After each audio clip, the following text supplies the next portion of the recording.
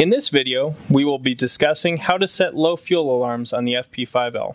The FP5L has four low fuel alarms, a reminder alarm, a low fuel alarm, a recurring fuel alarm, and a time to empty alarm.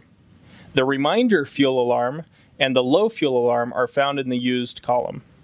Toggle to the used column, press both buttons left and right of the toggle switch, and you'll see a three digit number with the first digit blinking. For the reminder alarm, there'll be a small tick mark in the top left-hand corner of the screen.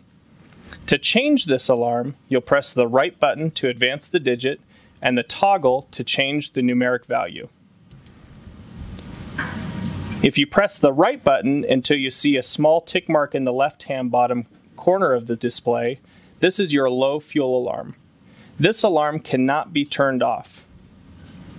Set the low fuel alarm by pressing the right digit and the toggle switch to the desired number.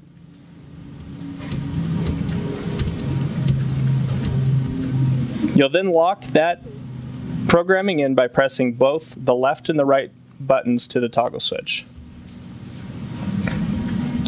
If you toggle to the right to the time to empty and press both the left and the right buttons to the toggle switch, this will be a time format there'll be a small tick mark in the top left-hand corner of the display.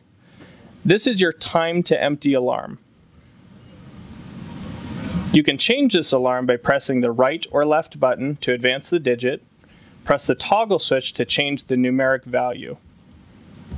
If you press the right button until the tick mark moves to the bottom left-hand corner, this is your recurring fuel alarm.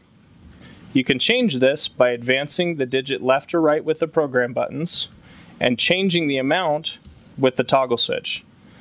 Once you're finished, you can press both program buttons, left and right of the toggle switch, to lock that value in.